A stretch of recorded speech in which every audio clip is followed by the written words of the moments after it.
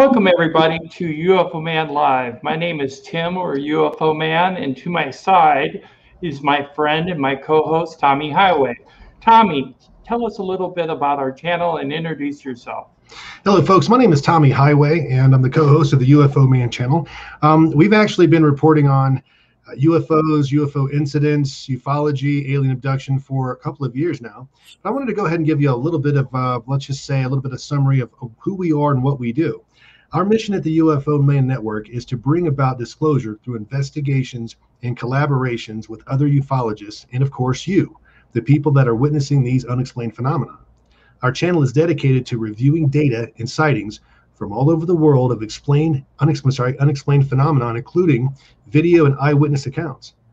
Each week, we post videos that are submitted to us by the public or provided to us by other reliable sources. These videos are put through a process to either authenticate or debunk each sighting whenever possible. We at the UFO Man Network believe that the truth really is out there and that each of us possess a small piece of a very large puzzle. The more of these small pieces that we can connect gets us much closer to our ultimate goal of full and complete disclosure. We need your help. We've provided you with the means to submit a reported sighting to us on our reported sighting page. We also have provided a toll free number as other means of reporting a sighting and experience directly to us. Your personal information is always kept strictly confidential. And folks, we provide this because we believe in it. We believe that uh, frankly, that, that we have not been receiving all of the information that the government has on this subject. Um, there's just too many sightings, there's just too many videos, too many eyewitness accounts to believe that these things are, in fact, you know, some sort of a trick of light or something of that nature. Uh, we don't believe that to be the case, folks. Jim? Or even foreign adversarial technology in some cases. Um, some of the uh, objects being seen are definitely ruled out by the Pentagon and Department of Defense recently as uh, they do not know what they are. So if they don't know what they are, we're left with several other options, but we'll go into that later. Um, we'd like to introduce to you tonight our very special guest, Ralph Blumenthal. Tommy, take it away. Folks, I just want to go ahead and give you a little bit of information about our, our very special guest. We're very honored and privileged to have him. Uh, let me go ahead and tell you a little bit about him. Ralph Blumenthal was a reporter for the New York Times from 1964 to 2009. Uh, and he has written seven books based on investigative crime reporting and cultural history. His latest book, The Believer Alien Encounters, Hard Science, and the Passion of John Mack, was published by High Road Books of the University of New Mexico Press on March 15th of 2021. It's the first biography of Pulitzer Prize winning Harvard psychiatrist John E. Mack, who risked an esteemed career to investigate stupefying accounts of human abductions by aliens. So, folks, it is my great pleasure to introduce you to our featured speaker this evening, and that would be Ralph Blumenthal. Ralph? Hey, guys. Thank you. Real pleasure to be with you. Thank you for coming. Thank you. Our pleasure. Can you okay. tell us a little bit about yourself, sir? Yes. Well, um, as as Tommy said, I spent my whole career at the New York Times in very earthbound reporting, uh, crime, uh, the mafia, Nazi war criminals. Uh, really, nothing to do with uh, um, UFOs and aliens uh, for the major part of my career. Um, I did get into the John Mack story in 2004 uh, when I was reporting from Texas and picked up one of his books. Um, and that was really the first encount encounter that I had, uh, how I was captured by uh, the subject as John Mack was captured. Um, I mean, I had, you know, been interested in science fiction growing up, as my generation was, uh, because uh, we were captivated by stories of going to the moon and Mars and all that. But then uh, I kind of forgot about it until I ran across John Mack. So that's that's how I got into it. And then I, I through things we can talk about, uh, found out about this Pentagon uh, unit that was investigating UFOs, and we broke that story in 2017. Right. I I read. Um, I th I think it may have been the New York Times that you were the co-author of that article with two other people uh, Leslie Kean and Helene Cooper. That's right. And um, what led you to the information to writing that article, Ralph? Uh, okay, well, I knew Leslie because she is uh, a distinguished author of a UFO, a book on UFOs, many articles. Uh, she's an investigative reporter who's dominated this field for 20 years. So um, I knew about her because I had been um, looking into the field because of my research for the John Mack book since 2004. Right. And Leslie came to me one day and said, that she had attended a meeting in Washington, D.C. Uh, with Lou Elizondo, who was the head of this secret Pentagon unit. Nobody knew about it uh, until then. Uh, that was investigating UFOs. You know, the, the, Pentagon was supposedly out of the UFO business with, with Project Blue Book in 1969. Only, of course, it never really was. They were still interested, very interested in UFOs, but they didn't announce it. They pretended that you know there was nothing to see here, folks. Just just move on. um, so Leslie attended a meeting where Lou uh, announced uh, to, to, this small group that he was resigning as head of this unit, which no one even knew existed, and um, because he wasn't getting enough support. Right. So Leslie came to me with that story, and I thought it was a sensational story. We, I took it to the New York Times through my contacts at the Times, and they quickly picked up on it and uh, you know we um, we got that story into the Times. We started working with Helene Cooper, who was a Pentagon correspondent, because she had great sources in the Pentagon. And uh, the three of us got that story on the front page of the New York Times on December 16th, uh, 2017, first on the web and then on the front page. And it, was it was a sensation. oh, I'm sure. Uh, in fact, I would have to go as far as to say that you, sir, may have very well have been part of the process to release one of the not only the greatest story of our time, but consider the greatest story of our species. Uh, yes. Um, I think personally, uh, it was the pivotal point, mm-hmm. the turning point for ufology to come mainstream. Absolutely, it brought it out of the barn. It it it, uh, it brought. Let's see, how can I put this? It put a face on it it actually it brought some credibility to the subject of ufology. I mean, like Tim and I joke all the time on the channel, it, it's it made it so it's no longer the tale told by a drunken hillbilly. Right? I mean, it's it's well, real. Real people are having this. It's it's nice to hear. I, you know, I, I can't take all this credit because uh, it was a question partly of being in the right place at the right time. I mean, a lot of things had been going on before that. The groundwork had been laid. Um, but uh, I, I, do think that it's fair to say that uh, that story on the front page on a Sunday of the New York Times um, did, uh, you know, shout out loud and clear that this subject was now safe for, for the mainstream media to tackle. And uh, it came at the right time, you know. Um, right. Uh, as I said, the groundwork had been laid. Uh, um, but this was the, the kind of a tipping point, I suppose.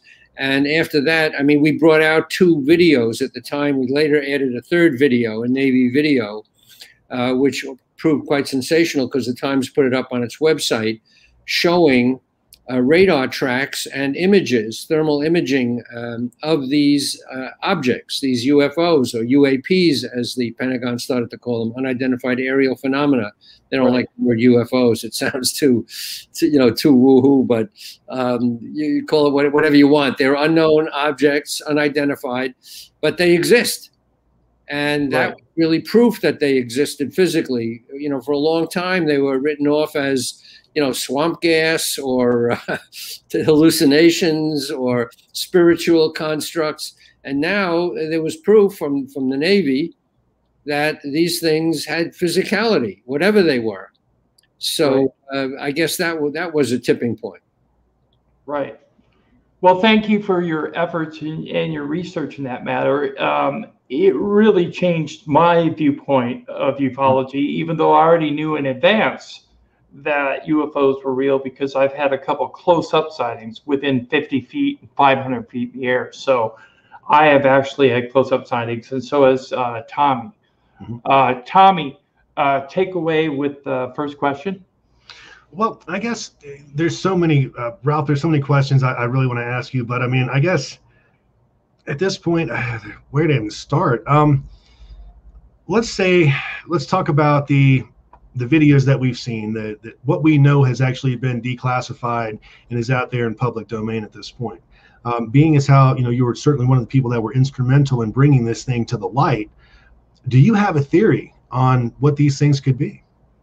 You know i try to stay away from speculation because uh, i think that weakens the story. I, I like to take it one step at a time and i want to say that um, my reporting on John Mack from my book uh, and his interest in alien encounters uh, should not be confused with our reporting in the New York Times, which does not go into uh, the intelligence, if any, probably is, but we, don't speculate in the New York Times on what these objects are, where do they come from, who's behind the wheel, why are they here, right. Um, because uh, that's way ahead of the data.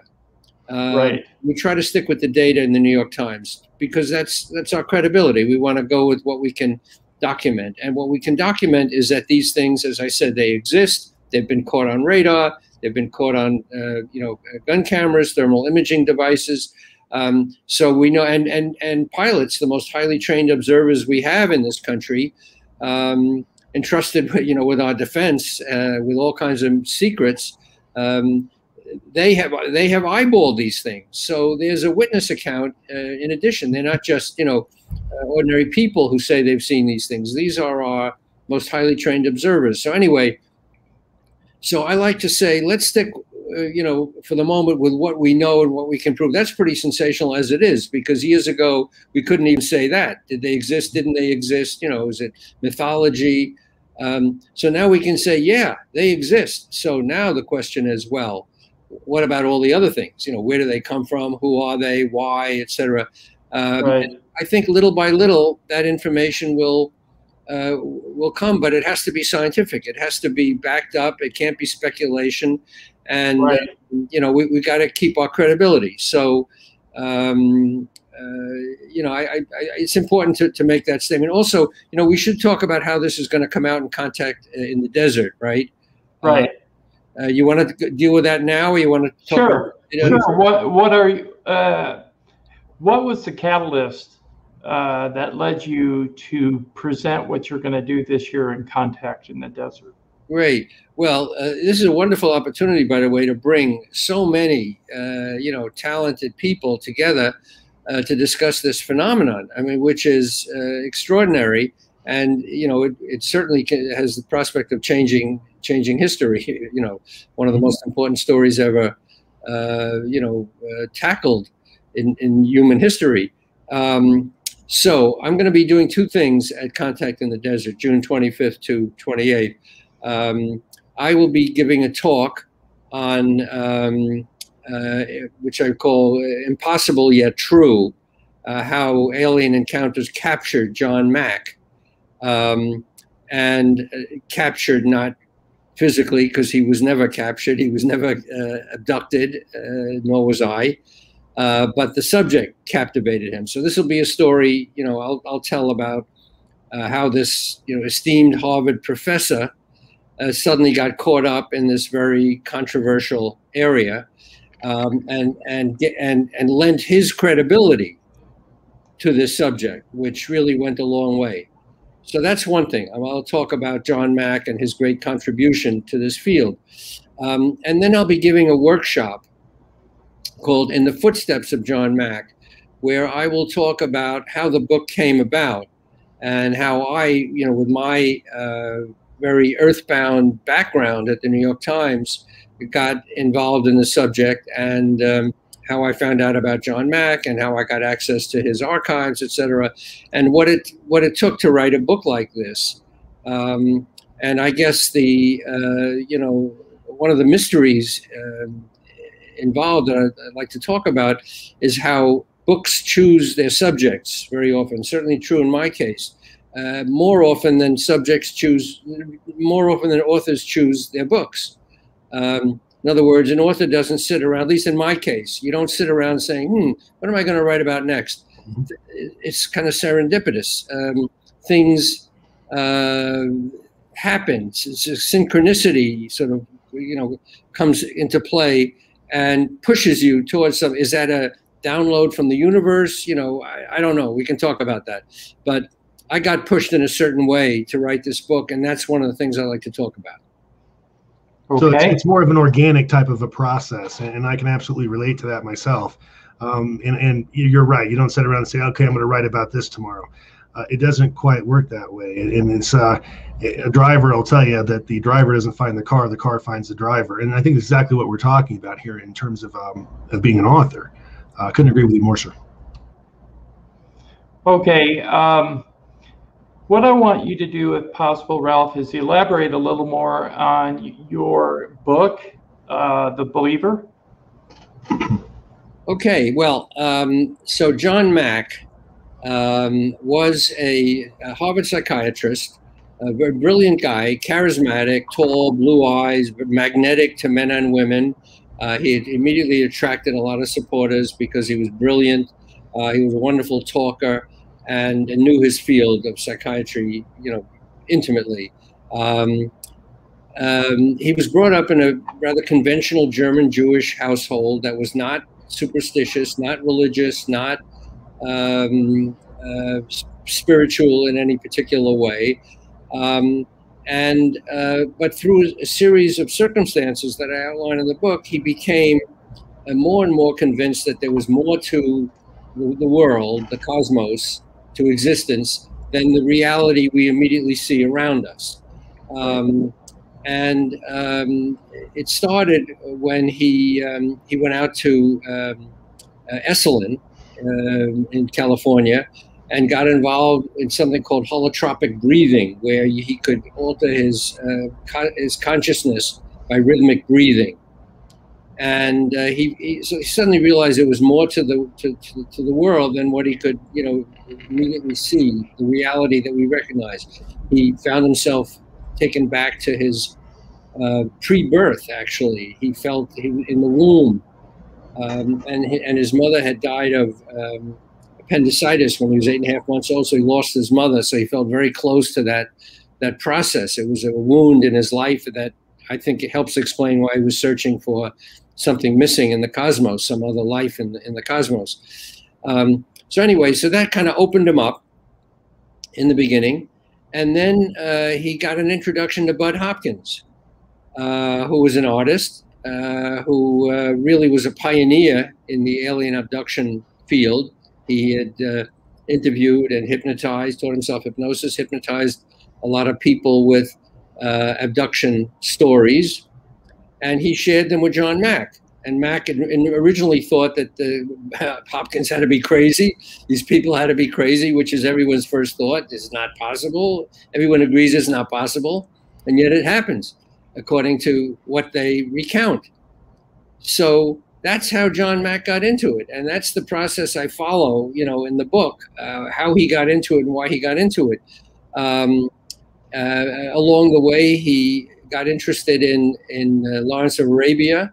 He saw the movie, like we all did. Thought it was a great movie, a little long, but um, so he went to England and um, researched uh, Lawrence's family. He went to the Middle East. He became an expert in the Middle East. He tried to make peace uh, in the Middle East between the Arabs and the Palestinians. We know how that went. uh, met with Yasser Arafat, but he tried. He got involved in the um, movement to ban nuclear weapons. We know how that went, but he tried. Uh, so he was very engaged in a lot of things. And then, as I said, uh, I traced the process by which he, he turned his interest to uh, uh, these alien encounters, which just stupefied him that how anybody could, how this could happen, how people could have really, you know, well remembered um, you know accounts of meetings uh, with alien beings is uh, it, it's it remains a mystery, but it's fascinating. Right, Tommy. Fantastic. Well, that's fantastic. Um, I, will tell you, when it comes to alien abduction, there have been so many stories out there. So many people have, have actually had these encounters and have been, you know, under hypnosis and, and things of that nature. Um, do you have any idea about how many people he actually put through the process? Yeah, I know how many people he he hundreds. I mean, he first of all he didn't hypnotize everybody. Uh, he he regarded hypnosis uh, with with caution because um, it is controversial. Um, they are uh, they are uh, a hypnotist who is not well trained can um, uh, influence the, the, the, seeming memories of the person being hypnotized. So it has to be done really very carefully. And John Mack realized that. Um, he preferred to use just relaxation techniques, just to get people not into a deep trance, but just to relax enough so that their subconscious mind can recall details that might have been wiped out in some in some way. Um, but also, he talked to people uh, for their conscious memories, and they often remembered things consciously. Uh, that was very interesting. So he was able to debunk uh, the you know the skeptics who said, "Well, you know, the hypnotist implants these suggestions," or even more, uh, you know, important. Uh, the skeptics say, "Well, these are nightmares." You know, the, John Mack didn't understand. These people were just having a, a nightmare or sleep, you know, paralysis. Well, first of all, John Mack wrote a book on nightmares. He was an expert on nightmares. He knew what a nightmare was. Uh, and these weren't nightmares because they often didn't happen at night. they often right. happened in the daytime, people driving a car or people walking around. Um, so, you know, there goes that theory. Uh, often it happened at night. People were in their bedrooms, but not not always. So um, anyway, um, um, he, he he brought some some real rigor to to his accounts. Now he interviewed hundreds of people. I um, spoke to quite a number of them myself uh, in the course of this book. People he had interviewed, and people I found on my own. And the one thing that comes through, I mean, I'm not a psychiatrist, but um, uh, these people seem eminently normal in every other way, except for this this experience. They come from all walks of life uh, professional blue collar people, men, women, children as young as two or three, uh, who say, you know, little man, take me up into the sky. I fly in the sky. Uh, you can't say these kids are, you know, describing a book they've read. They can't read. they, they, haven't. They're not describing movies. They've, they've never been to a movie. So anyway, uh, there's one of the things. That's just one of the things that convinced John Mack he was onto something. Right. Um, the, bur- the book that I got to refer to that drew, drew me to John Mack was this one uh, Abduction Human Encounters with Aliens. Um, it really influenced whether I would come out publicly about some situations that occurred to me. Um, I don't know for certain if I was abducted but I do know for certain that I woke up with trace evidence. And um, I had bruises on my legs. I had bruises on my arms. I had uh, what looked like a vaccination in the middle of my sternum. And I had three, uh, two to three suture marks behind my left ear uh, when I had never had ear surgery. Hmm. So I had all of that checked out, except for the bruises, of course. They went away on their own. Um, but the vaccination mark is still there after 11 years. I got it in 2009, and I still have it. It's like a welt. It's round and it has six puncture wounds in a circle. So it looks like a vaccination now. When I checked that out with my doctor, he said that's what it was, and I told him I'd never been vaccinated there. He said, Well, it would be really odd to be vaccinated on your sternum because that's cartilage. Right. But that's exactly where it was. And then the spot behind my ear was uh, an indication of a possible implant because the doctor at one time said that he felt something underneath there, like a nodule. Uh, but we left it alone and um, he didn't remove it. I know I probably should have, but he did not. And what happened was, is um, just a couple of years ago, uh, I felt an itch back there, and I didn't feel the nodule anymore. So it could have been removed. So I, I do believe that I'm one of those people you're speaking about that has had some kind of experience, but I don't have any waking memories of being on a ship or being taken up by little gray beings or large gray beings or reptilians or mantis beings or whatever you subscribe to. But um, it has happened. So I do agree with you, uh, Ralph. Uh, it is a definite phenomenon, and it is something that we need to bring out to the public there, there's more than just trace evidence involved here. There's more than just uh, people having these uh, these visions, if you will, or dreams, or whatever you want to call them. There's more than that. We've actually interviewed folks here on the channel who have actually had and been confirmed to have had metallic objects and different, um, let's call them implants, in different places in their body, and that seems to be sort of a recurring theme. In fact, we even know someone personally who had one su- suspiciously removed. Um, so I, I, think that deny putting this into the denial category simply because of the hypnotic aspect of it or anything like that. Well, okay, we can do that, but what about all of the other evidence? What right. about uh, Betty and Barney Hill's uh, vehicle, the car they were driving, and having those round spots on the trunk that were polished? I mean, there's just so many different occasions where the person is reporting this type of uh, experience but they also have some sort of trace evidence. Ralph, what are your thoughts on that? Yeah, no, that those are all very good points. That it's not just one thing that uh, you know points to the to this phenomenon. Um, first of all, uh, the uh, the scars or scoop marks that people have noticed after what they remembered as an abduction are very interesting because uh, in one case that John Mack uh, investigated, the person who who found these marks was a quadriplegic who could not move. He was paralyzed from the neck down. He could not have inflicted these on himself. So that's interesting. And um, um, again, uh, it, it's only one of a number of indicators that that uh, convinced John Mack that there was something uh, really physical to this process. It wasn't necessarily entirely physical or in, in, the reality we recognize. But there were, as you said, um, these um, uh, bits of evidence, fragmentary evidence that put together made some kind of a case. Now, one thing that Tim said was very interesting. He, he didn't remember being abducted or being on a ship. Um, and very often, uh, people uh, did not have what we call, or what has been called, the core abduction narrative.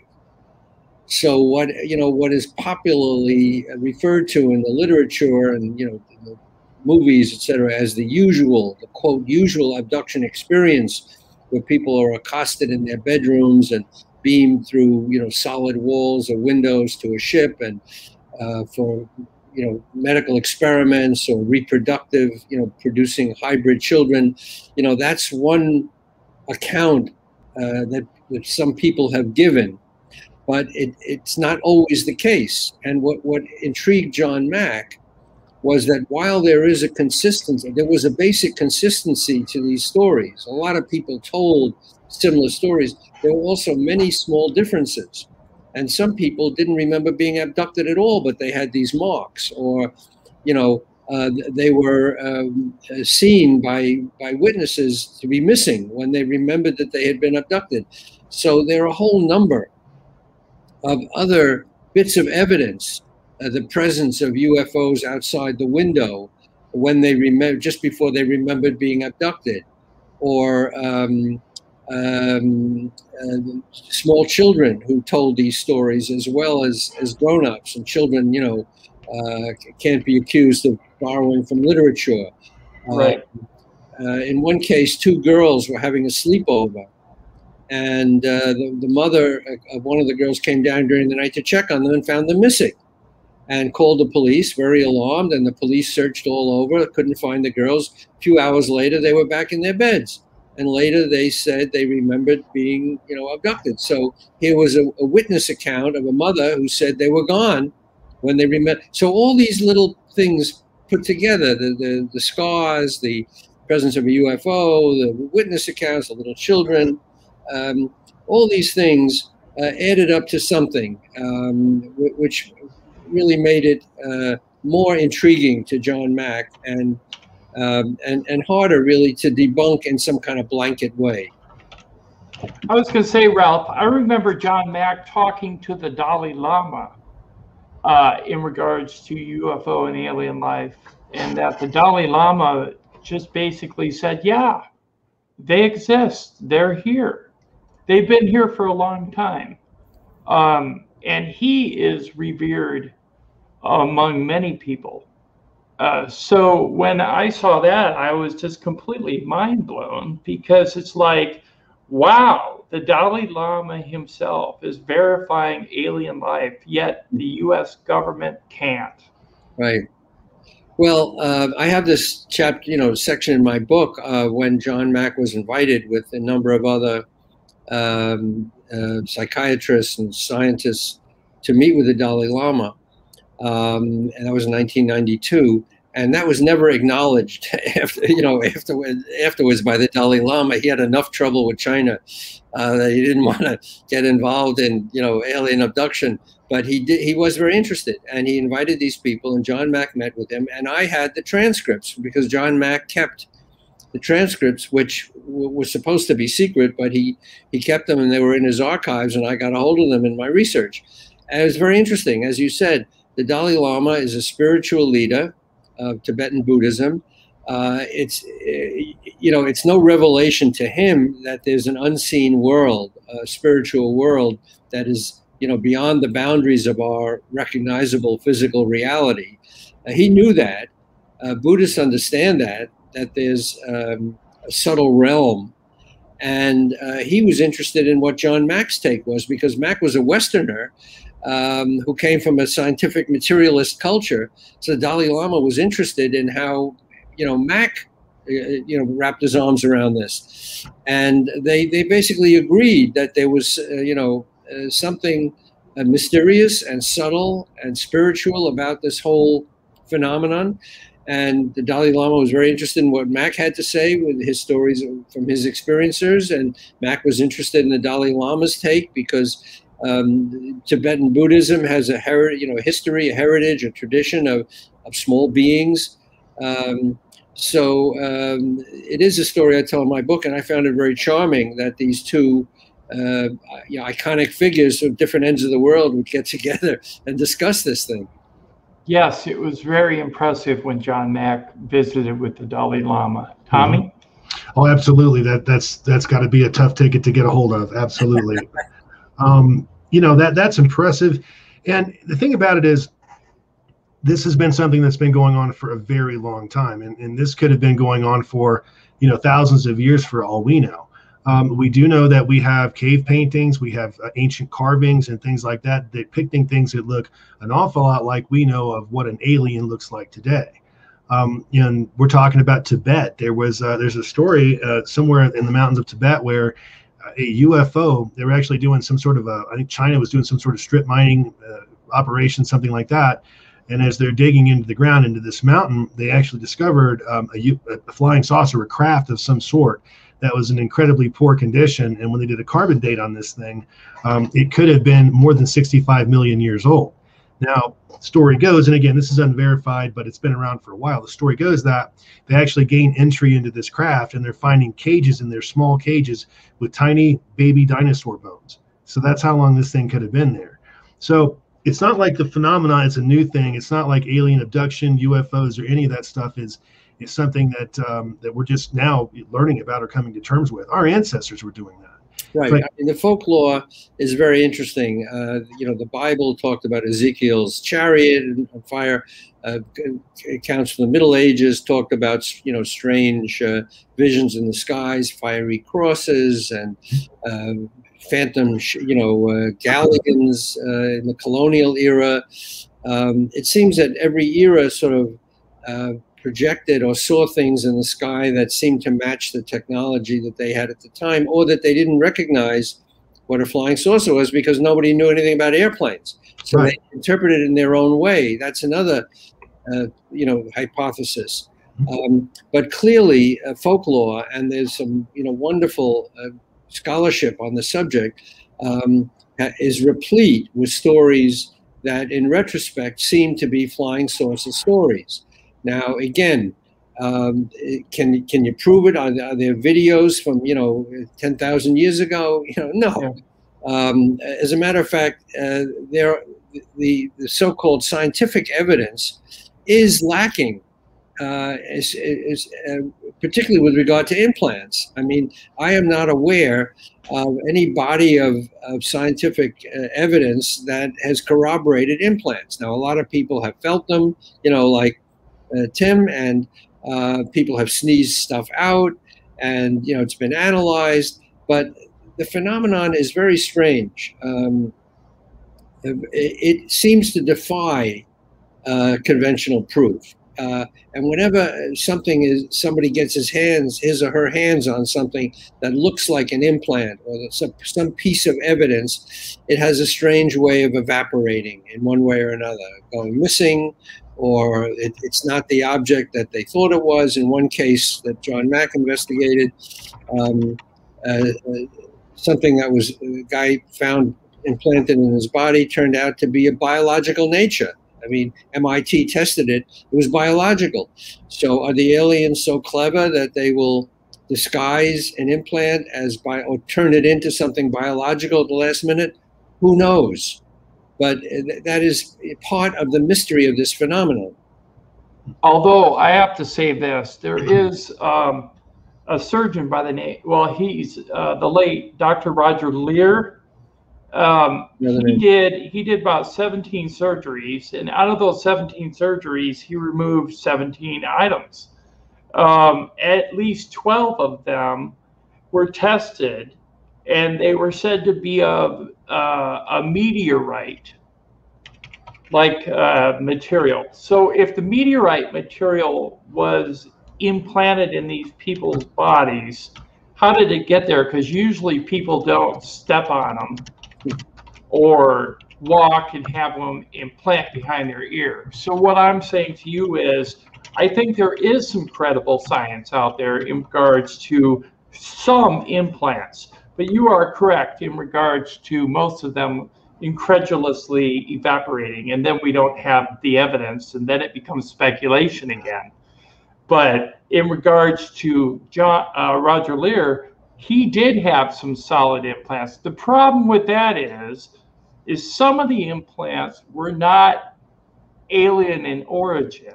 Some of them were actually RFID chips that were put into people's bodies without their knowledge. So how they got there, I don't know because those are man-made. Right. So um, yeah, Roger Leir does have a body of of work. Um, I don't know if you're familiar with that. Well, I've read about it. I have read about it. Okay, and he does have some scientific evidence to prove that some of the items that he's removed is of a nature that should not be there. Uh, not necessarily alien in nature, but from space.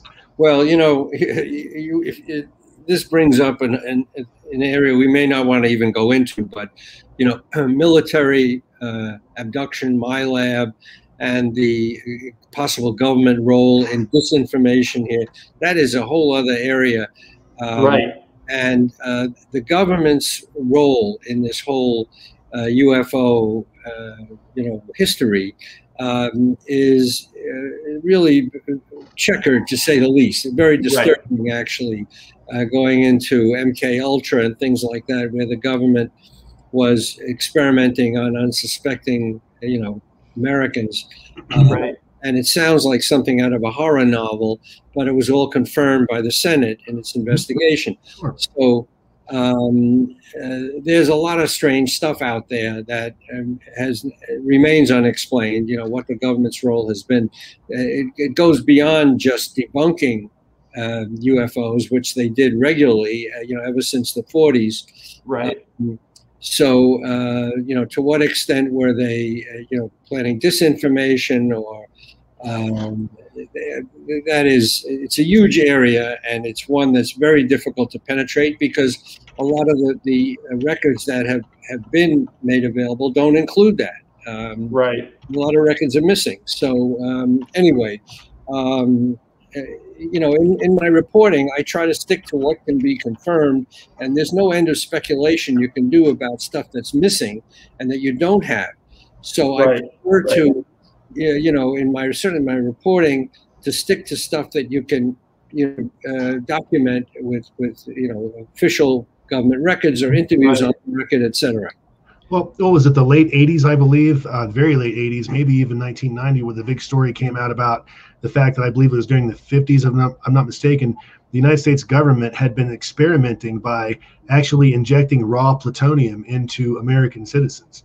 Um, and, that was part of, of uh, MK Ultra, but they were certainly using LSD and psychedelic drugs, and people were going crazy. And um, uh, it, it, was a terrible chapter, and I don't think, uh, and those records were destroyed, as I remember. Yeah. Uh, the, the, Senate committee couldn't get their hands on it. So, um, uh, actually, the woman who uh, first got John Mack interested in in alien abduction, who introduced him to Bud Hopkins, um, called herself a victim of MK Ultra. And when I first read that, I thought, you know, she was some kind of a kook um, but the more I looked into it, the more I realized that uh, MK Ultra certainly existed. Whether she was a victim of MK Ultra could not be determined because the records were destroyed. So all you have is her anecdotal evidence saying, I was taken to Cornell. She mentioned Cornell Medical Center, and I was injected with this, and they did this. And uh, you know, without any documentation, it's impossible to corroborate. Uh, the problem we're having lately is even with documentation, that can be fraudulently uh, absolutely right mislead absolutely. people. Mm-hmm. So it's very hard right now to tell what is uh, being said uh, publicly about the UFO report that's coming out on June 25th or around that date because we don't know whether it's a disinformation ploy by the U.S. government to kind of give us a little bit and then suppress everything that's uh, that we really need to see. You know, keep it in a classified wait, annex. Wait I want to separate two things. One is uh, you're absolutely right when you say it's almost impossible to verify certain documents. We at the New York Times have looked at some documents that um, we were assured uh, by some very reliable sources were 100% accurate and they certainly looked like authentic documents from the period. Um, right. All the right markings or so. But um, then we were told by other reliable sources that some of those documents were produced in, in various forms, uh, with introducing small uh, errors uh, or um, inaccuracies in the documents to mislead adversaries, perhaps, among other reasons. So while the document might be genuinely from that period, it might include misinformation or disinformation to throw people off the track. So it's really a hole of mirrors when you get a hold of a document from that period that seems to, you know, point to some UFO crash or UFO landing, etc. And you say, well, it's right here in the document, and then you find out, well, the document may not be hundred percent authentic. It may be 75% authentic and 25% fabricated. Mm-hmm. But um, right I will stick up for the UAP report that is um, coming coming out. We believe by you know by the end of uh, June. Um, we have very good sources in the government, and uh, I'm I'm convinced, uh, really uh, quite quite confident that the report is not disinformation or you know I mean we haven't seen it yet, but it is. It may not be complete. It may not be as illuminating as people want there may be, there very likely will be a um, classified annex that will not be shared with the public. Right. Um, uh, only with, uh, you know, uh, Senate uh, Intelligence and Services Committee staff or members. So, um, but I, uh, I, I would not go so far as to say that you know report that's coming is going to you know is likely to be disinformation or fraudulent in some way. I, I think uh, there's no reason to believe that. Right. Well, that's good to know. Tommy? See, I sort of have a problem with um, having any part of this this particular report classified, and, and let me tell you why. Um, if we're certain that this is not secret American military technology, and we're at 99.999% certain that this is not a foreign adversary's technology, then why at that point, would we be censoring or omitting um, or classifying any of that data unless we're just simply doing it to keep the information away from the public? And I just wondered what your thought would be on that, Ralph. Well, listen, I'm all for sharing everything possible with the public, but I can understand. I'll give you a hypothetical. What if, what if the government uh, had been able to analyze um, these, these uh, you know, UAP or UFOs to the point of duplicating the technology to some extent, and said that we have reverse engineered this ability to, you know, to cloak, to, to turn invisible, to operate underwater. Uh, we have mastered this technology, and we're working on that. I mean, I'm not certainly not saying that's the case, but if they were to say that we know how they do it, and we are uh, we have done it or are doing it ourselves, that would be very uh, helpful to an adversary. You can say, well, you know, okay, that is possible defense information.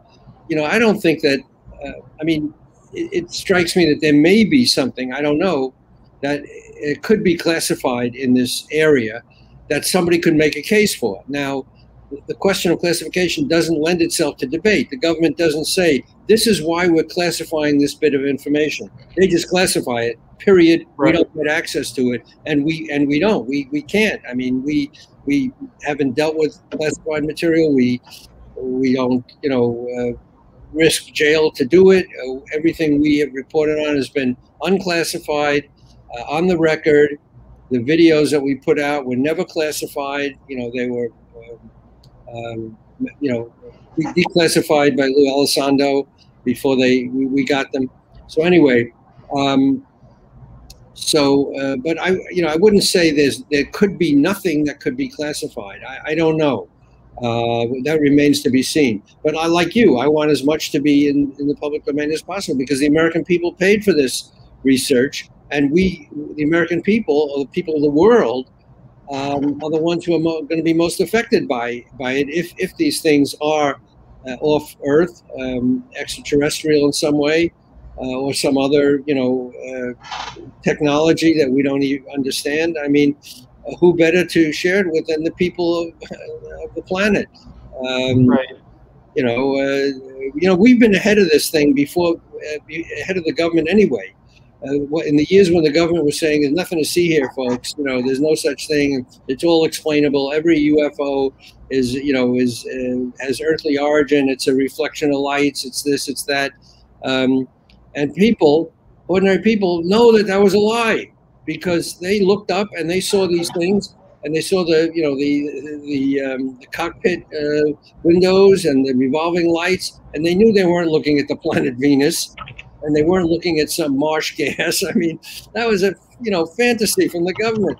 So you know you could say that the the public was ahead of the government from the beginning on this.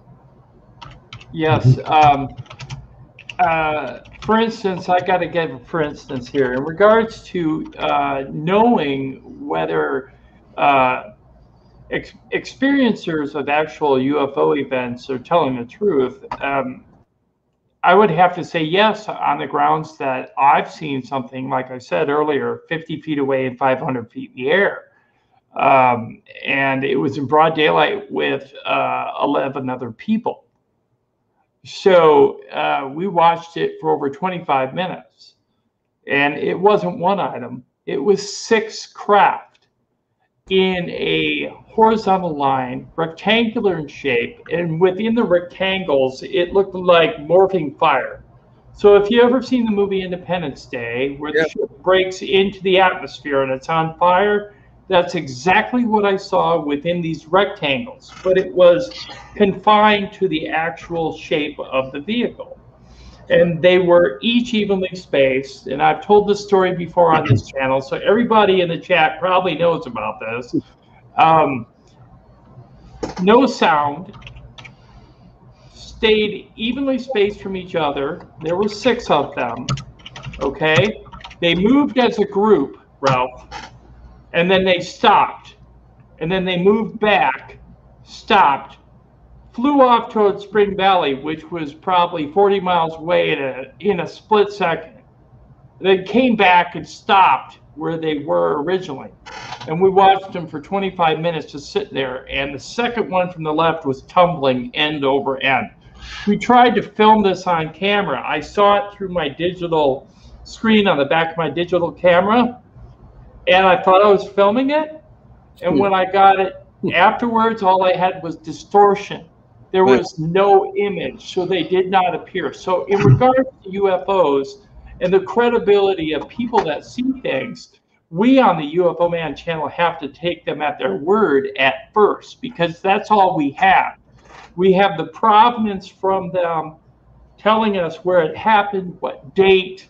We can check the weather. We can check with the sheriff. We can check with the. Uh, uh, we have data.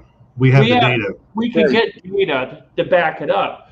But that's the hard data in regards to UFOs. Now, when it comes to alien beings coming into a person's house, that's more subjective. We we really can't get hard data except for trace evidence. It's, like, it's go ahead. Uh, I'm sorry, it's just not happening as often as a, as a regular sighting does. It's just not something that, even if it is, it's something that's so interpersonal uh, for a person to have to go through that most people probably don't want to talk about it. Um, one of the things that, that I've always found found was um, so tragic about this subject uh, is the stigma around it. You know, Yeah. the fact Yes. that you, you can't, you know, you've had these experiences, and I myself have had a couple of experiences, and I was a government employee for many years, and I had to keep an absolute lid on that. There was no way in, in the world I was going to tell this story to my colleagues and be ridiculed, and that or my bosses gets to, gets to them. Next thing you know, my clearances are over with. Right. Um, you know, so it, it, I think that's the tragedy. We haven't been able to be able to openly discuss something that is clearly happening in our environment.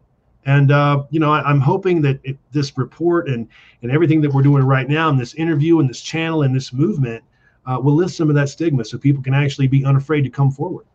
I think it, it will help certainly with the UFO sightings. Uh, there was a time when people who reported UFOs, including you know military personnel, were stigmatized. They jeopardized their military, you know, their uh, classification, their um, uh, you know access to security information, to clearances. Uh, they they could they were referred to psychiatrists um, commercial pilots who often see these things, uh, UFOs, no doubt about that. Uh, were also told they knew, you know, from their airlines not to report them. So I think we've gone beyond that now. The Navy has officially said, we want you to report uh, sightings. We, you know, we're compiling a database. So that that's a lot of progress. Um, it's it's still a huge leap to uh, alien encounters because um, Right. they, they are much um, more difficult to document, as you say. Um, they have not been caught on on video and and film as as UFOs have to to a varying degree of, of you know precision. Um, but they're much more complicated. Uh, they're much more, uh, as you say, you know, interpersonal, um, and people who have hooked up cameras in their bedrooms, you know, to cat to, to capture images of you know alien beings coming at night, invariably find that frustrated. As you say, the film is fogged or it doesn't record.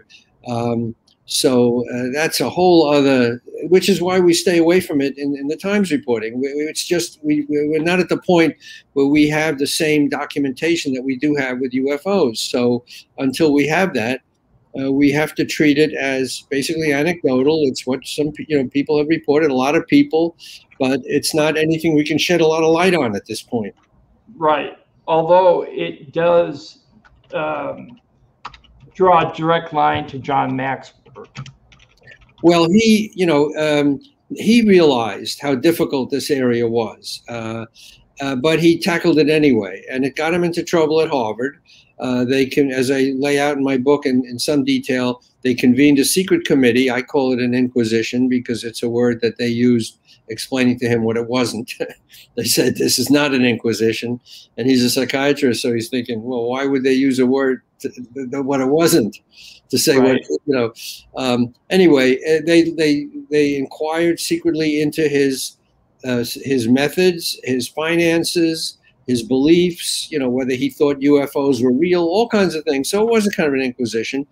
Um, And in the end, they found no grounds to discipline him. They thought he was a little too enthusiastic um, in his methods, which he was. He was he was he was a little naive. I mean, that he thought he could jump into this area and not incur the wrath of an institution like Harvard.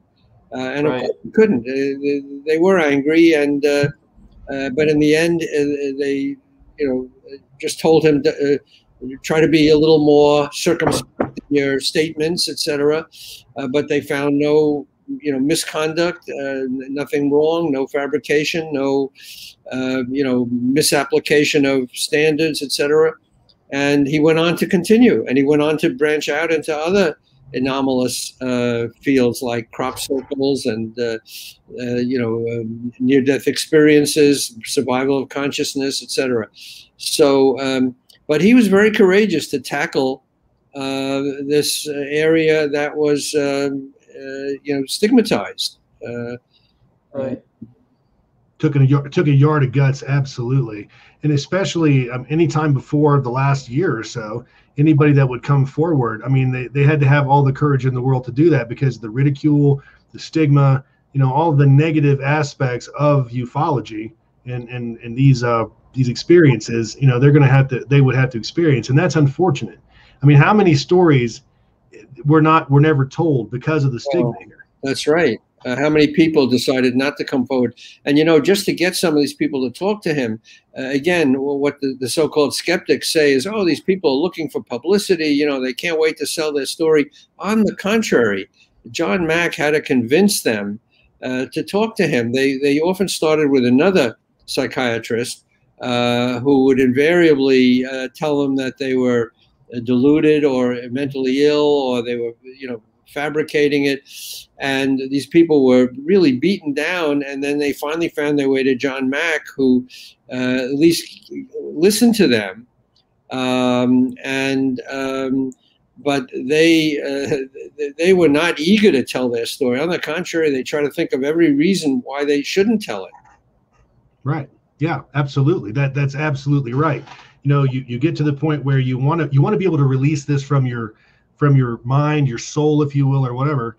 Uh, and you want to be able to do that, but there's no, there was re- really no great forum to do it in. And even if you went to a support group, well, quite frankly, I, have talked to some people from support groups and all of that, and some of those people um, probably aren't very genuine that, that are in there. But then oh, again, oh, wow. so it's really hard to sort all of that out. And I mean, I just like for me, again, it, it was torture. I wanted to tell my story, but I was afraid to, literally afraid to, for numerous different reasons. Well, and that's also, not right.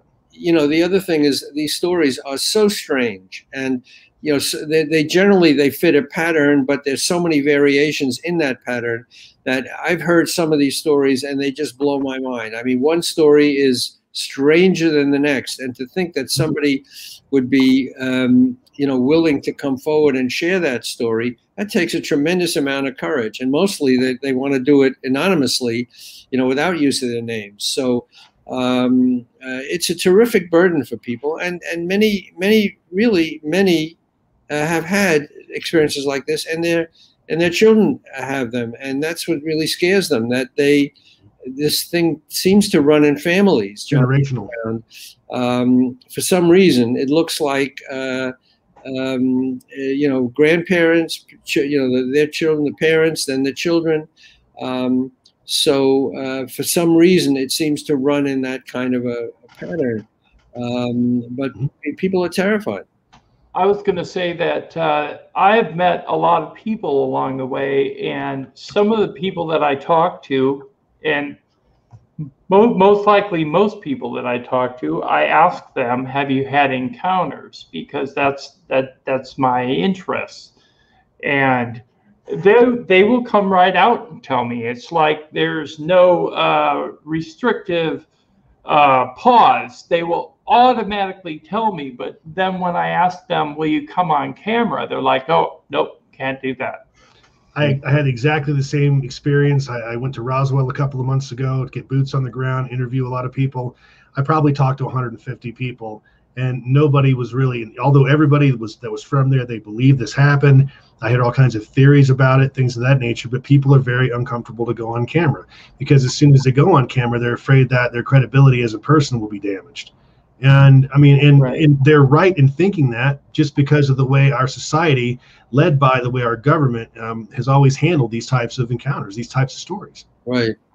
You know, I start my book with a little anecdote about a um, um, an English scientist in the 1870s, Sir William Crookes, uh, who was sent to uh, visit a séance and report on what was going on there and debunk it. His fellow scientist says, "You go look and you know make a report." So he goes there and he watches musical instruments being played in a locked cabinet with nobody touching them. He sees you know people levitating, and he comes back and he tells his fellow scientists, "You know, I saw it." He says, "I never said it was possible. I only said it was true." So uh, that's what we're left with. These things are not Right. possible in our understanding of reality. Um, Right. And yet, uh, you, you know, the, the, the stories that people told John Mack, and he was a psychiatrist, he knew when they were lying to him, uh, when they were fabricating um, their affect, their emotional, um, uh, you know, signatures when they when they recounted these things were all genuine to him. So um, he said it, it, it doesn't seem possible, and yet uh, there's no other explanation that on the, other than something happened to these people in some dimension, maybe not our dimension, maybe not our reality, but uh, somehow it, it was real. Something penetrated our reality that we don't understand, and we have to uh, begin to come up with some theory that explains other realities. I mean, that's as close as he came Right. explaining it. I just think it's so sad that that people, um, especially in Roswell, would would come up to me and, and just I mean just dump this on me their entire story, anything they've ever experienced, and, and like I'm like I'm a priest, like I'm Father Highway. But as soon as that camera comes out saying, "Hey, would you mind, you know, going on camera so others can, you know, listen to your experience," that the conversation is over. We're done. You know, and it's just that's sad. Again, Yeah, it's and all the stories that weren't told. Yeah, all the stories that weren't told that have been wasted that that we could be using to put together this big as more pieces uh, for this big puzzle they're not going to tell us about Well, you know because what? of, Let me say this: that John John Mack, in his book that you put up on the screen, "Abduction," uh, is, tells the story uh, stories of 13 people, 13 case studies, and uh, he gave them um, pseudonyms, okay, because he wanted to protect their identities. Well, some of them um, came out under their own names afterwards, and people that.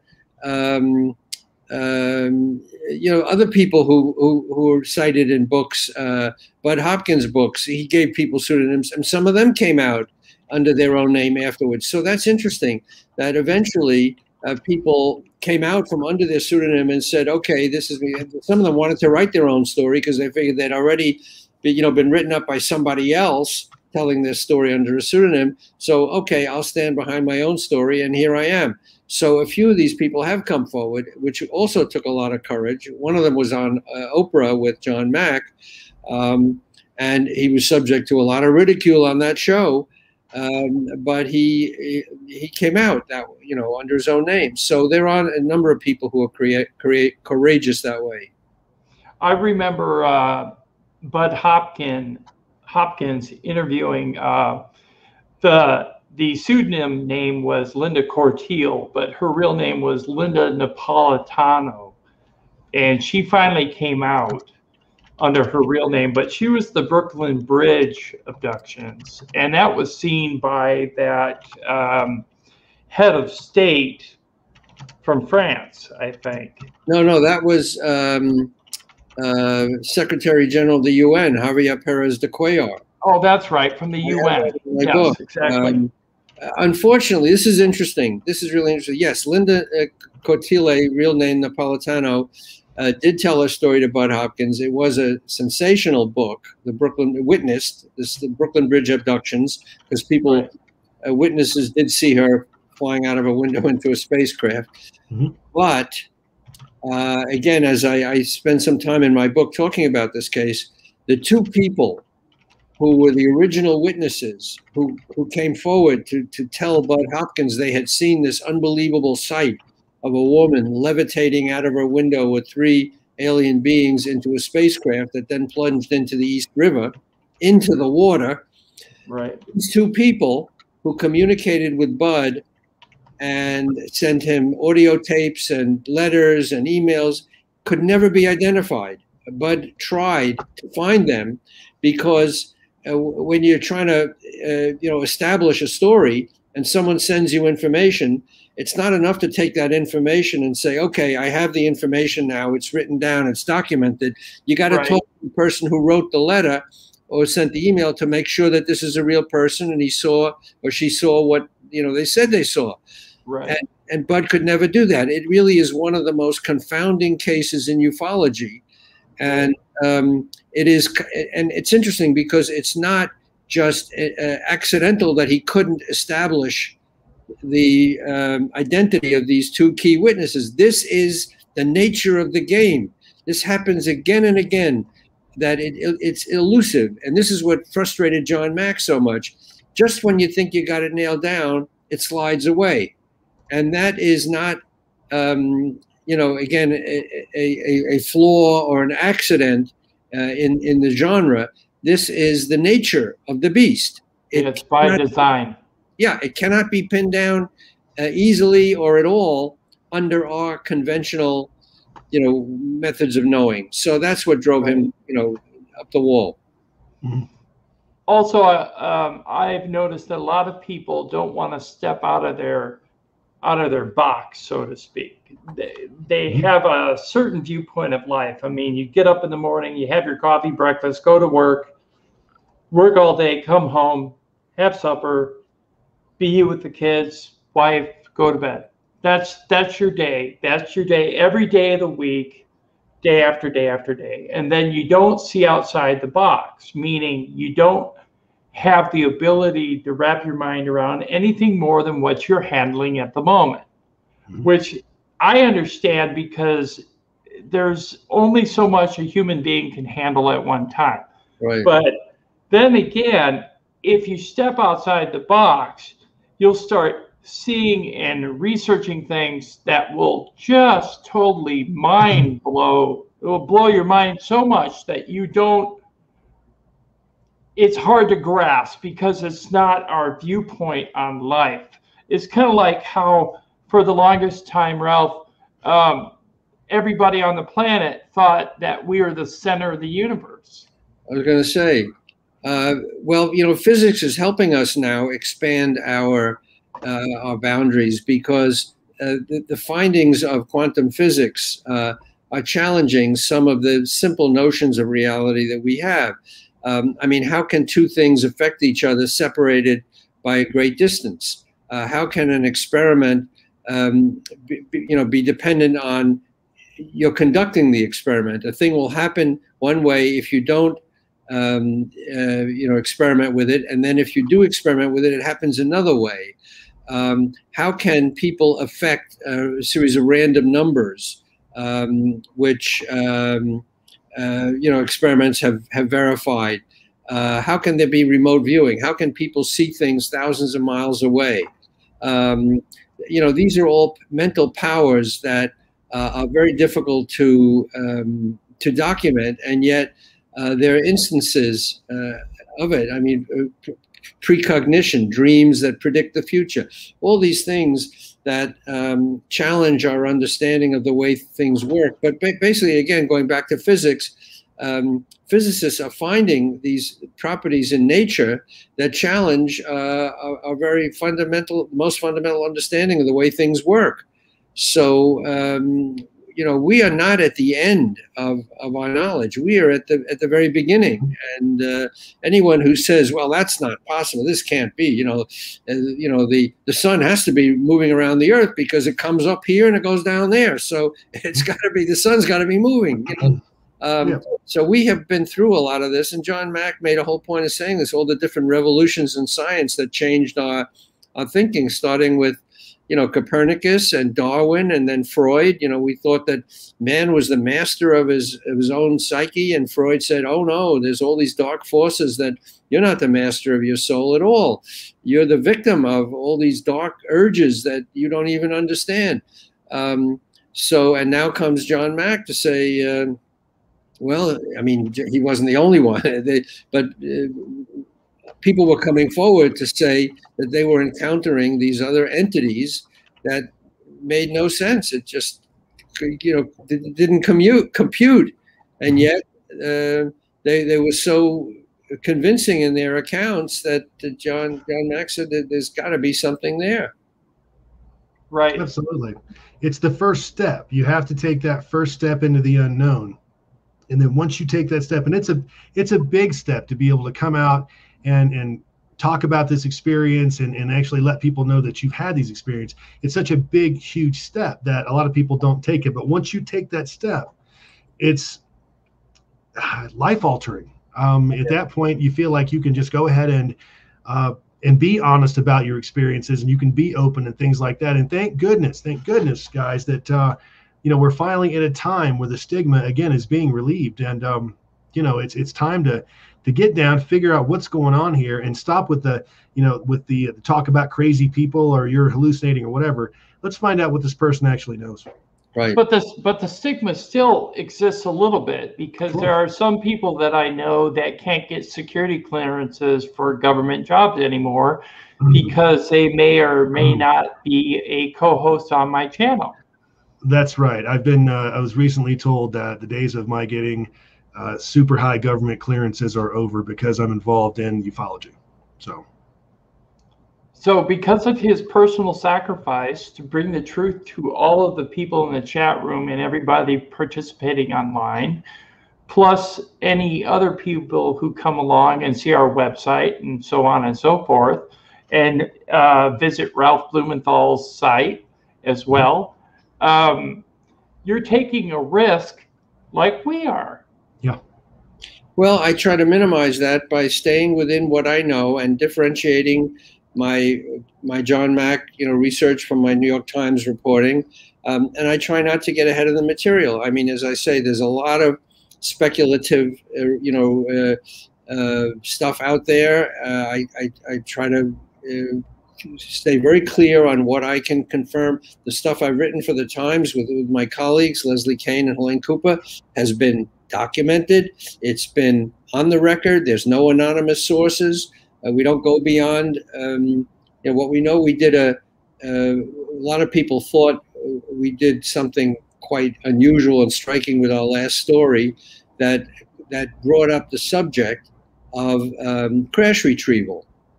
Uh, right. And we got some flack for that because some people out there thought uh, we were holding back, or we we only reported a small portion of what we what they thought we knew. Um, and why didn't we say more? And you know, it caused it caused us a lot of anguish uh, because we were trying to tell a, a, story in the New York Times that was documented and solid, and what we ended up saying was that uh, um, congressional staff had been briefed um, about.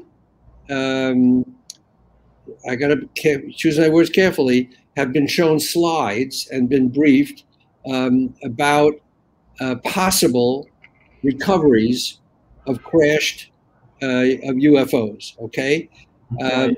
Um, so uh, some briefings were held, and um, we didn't go beyond that. We, we whether the materials, who's in possession of the material, what the materials are, we didn't go there because we didn't have that data. All we knew and said was that there were slides shown to uh, congressional staff that referred to you know off-planet ve- possible off-planet vehicles and material possible material retrieved from from crashed objects uh, right. and, and, that was a fact the congressional people were briefed there's no question about that sure. Oh, sure. how much of that was true in terms of, in other words how much information was conveyed we don't know it's classified um, right. and we go beyond that. But uh, you ask, you know, um, what kind of a risk we're taking? I don't think we're taking a great risk. We're, we're just telling a story that we can uh, that we can document.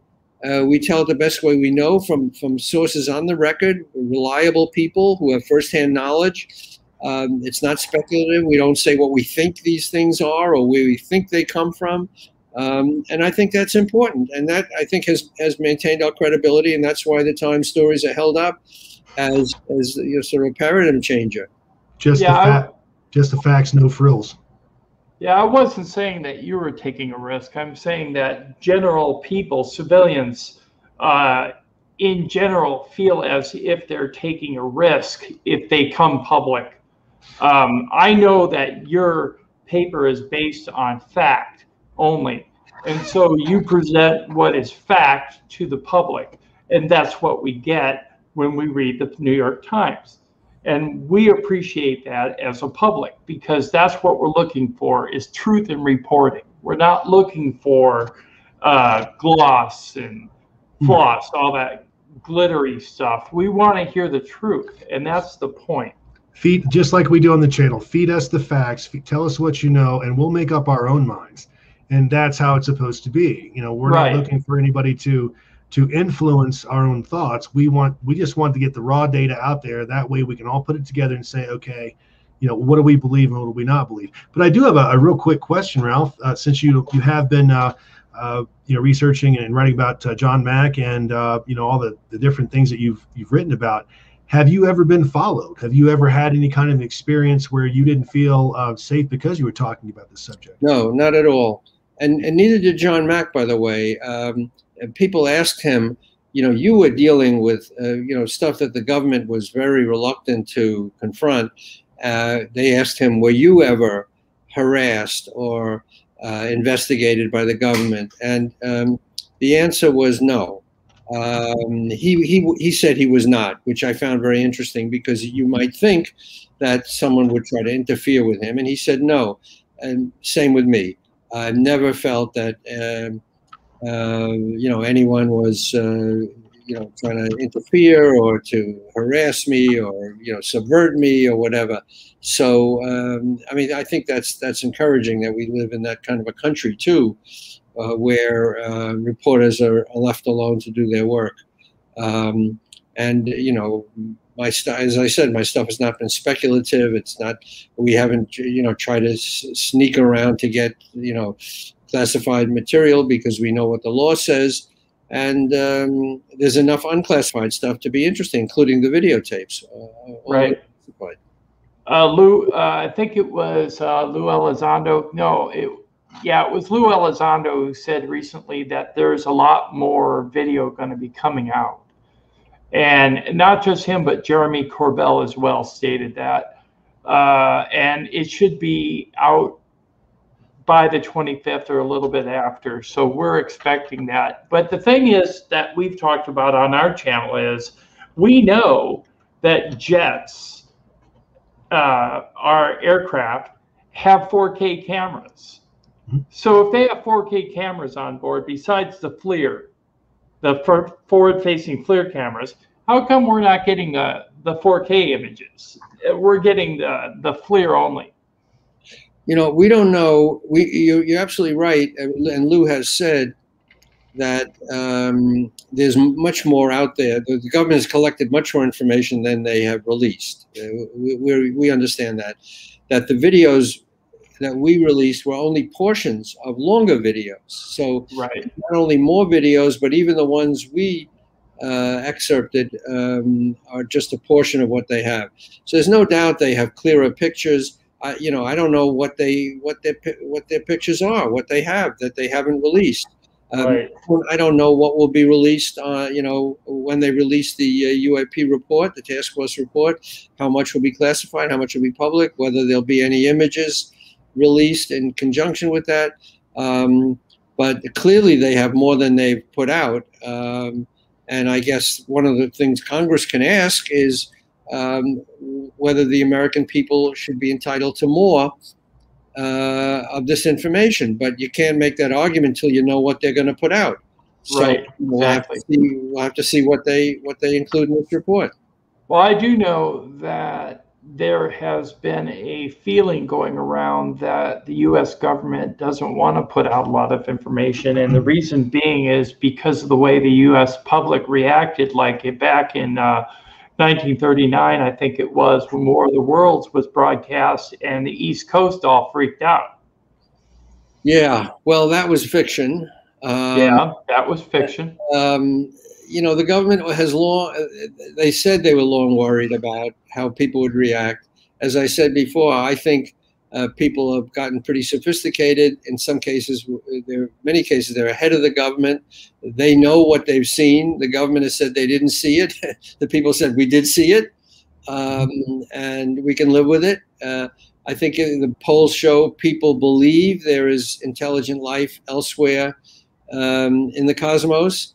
Um, most people think that that's the, the, likelihood today, just because of the huge numbers of planets that seem to be Earth-like, um, and just the chances that there would be some other kind of life in the universe doesn't seem so far-fetched.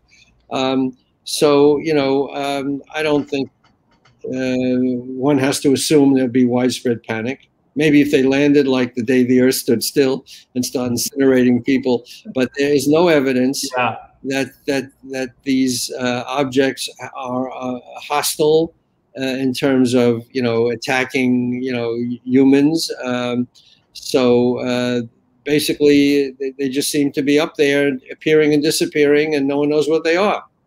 Right, exactly, and that's what we're left with. We're left with the mystery, and that's why we continue to research on the channel and reach out to people globally to get information and video footage and photographs and put it out there on the channel so that we can get other people to come forward and let us know what they saw and and build a database. So that's what we're doing. We're trying to push forward a grassroots movement to do a disclosure on our own.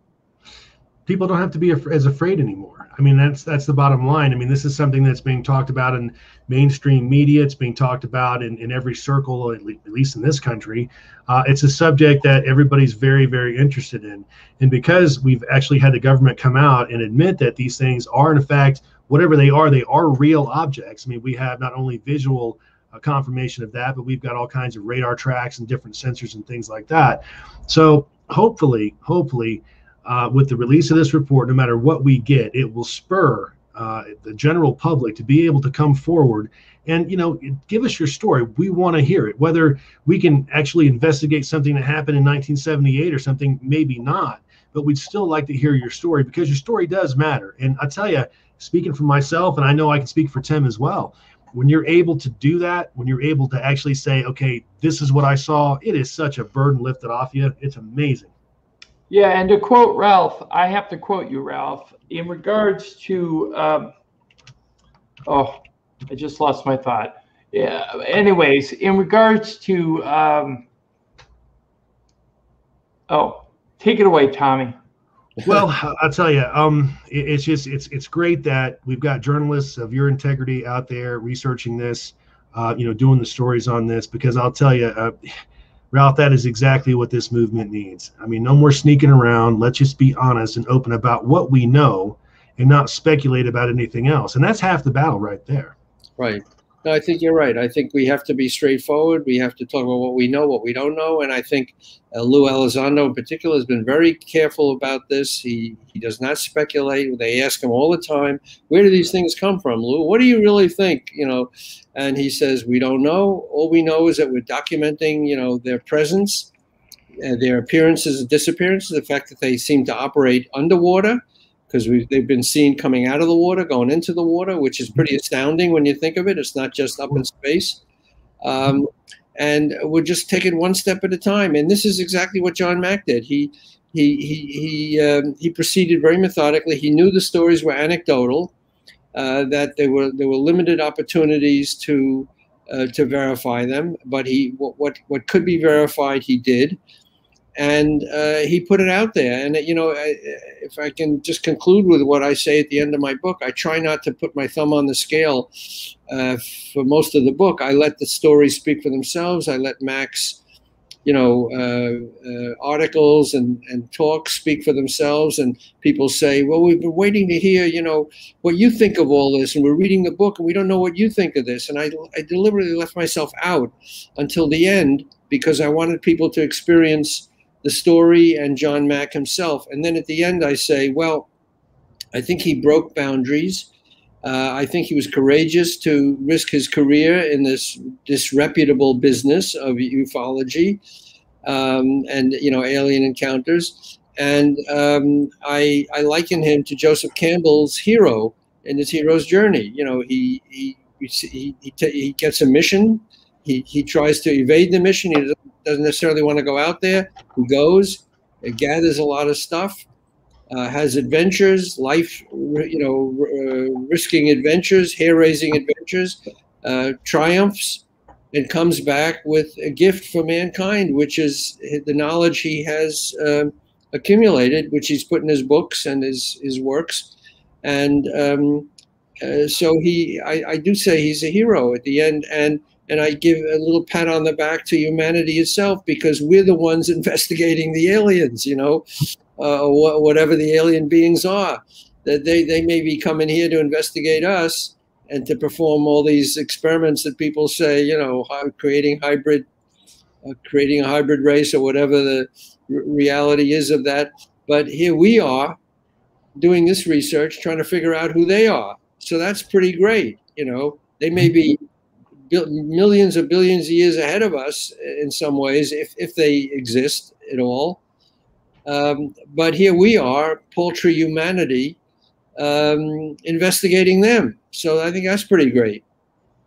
Yeah, Absolutely. that's a big breakthrough for uh, humanity in general. Yes. Yeah. And uh, before we close, we want to thank you, uh, Ralph, for appearing on our show tonight and uh, giving us your gracious amount of time. It's a pleasure. I really love talking about it. You guys are great interviewers, and uh, uh, if I can shed some light on on John Mack and his career, and uh, I'm, proud to do it. And I was happy to, you know, have written a book that I think uh, credits him with uh, his courage and shedding light on a difficult subject. So I appreciate the opportunity. Absolutely. Yes, and your book, uh, as I understand, hit, uh, hit number one on the Amazon bestseller list. Well, from your mouth to God's ears. But it, it is widely available. It's on Amazon. Independent. I'd like to encourage people to buy it in independent bookstores because they need a lot of help these days. You know, with the pandemic.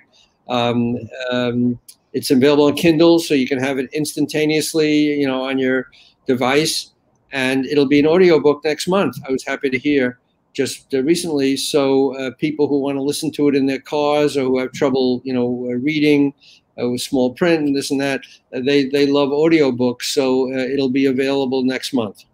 That'll be really Fantastic. cool, and um, I I'm looking forward to picking up possibly even an autographed copy from you, Ralph. So what I'm going to do is probably pick one up, send one your way, and have you autograph it. Okay. You okay, thank you very much. you know, a contact in the desert next. I mean, in two weeks, uh, June 25th to 28th, uh, online, virtual. Um, I'll be talking. A lot of people will be talking. I'll give a workshop. Uh, a lot of really eminent people are going to be there. Uh, people who've been in this field for a long time, um, who have wonderful, you know, information and insights. So uh, I encourage people to uh, sign up for tickets, and it's all virtual, easy. You don't have to travel anywhere. But right, the, you know, the truth is out there, literally, at Contact in the Desert. And believe it or not, uh, Tommy and I are actually being featured on Contact in the Desert.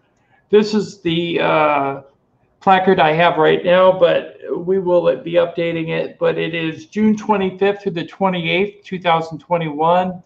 So it is starting in 13 days, I think. Yep. And the 25th is the date set for the UFO report to drop. So besides starting the conference, we're also going to go live that night. If the UFO report drops, Tommy and I are going live that night on the channel wow. to cover cover the UFO report. So we'll also be doing that. All right, we're looking at great times. Yep, it's it, it's the greatest story right now to be on top of. Yeah. And we're, we're all a part of it. The humanity is a part of it. Everybody in the chat room, you're a part of it. Everybody participating online, you're a part of it. Whether you believe or not, you are a part of it. Yeah. So thank you for coming this evening. Tommy, any last thoughts? Just want to thank everybody for coming out. Ralph, thank you very much for being our guest, sir. Wonderful interview. It was my great, both of our great pleasure uh, for you to be here. I'm sure our audience really enjoyed it. Uh, folks, just to give you a heads up, I did send a link out there. Tim and I are going to be doing a show tomorrow night for, um, for I'm sorry for for par- the paranormal um, show, and I went ahead and I put the uh, the link out there for you. So go ahead and hit us out over there uh, tomorrow night. We really appreciate that. Again, I think this is something that, I mean, it's coming to a head. This whole situation is coming to a head. Now, sooner or later, we're all going to figure out what the truth is here because it's going to get to a point where it can no longer be hidden. And Tim and I have talked about this countless times on the channel. We've all we're all rocking a great camera in our pocket, which is exactly the reason that Tim and I have so much content on the channel. And it Right. seems like there's more of an uptick on in these sightings. People are getting again more comfortable to come forward, and I think that's fantastic. But, but again, uh, Ralph, I just want to thank you for coming out, sir. You you really made our night. Likewise. Okay. Yes, you have. So thank you very much. And from Tommy, my uh, and myself and Ralph, as we always say at the end of the night,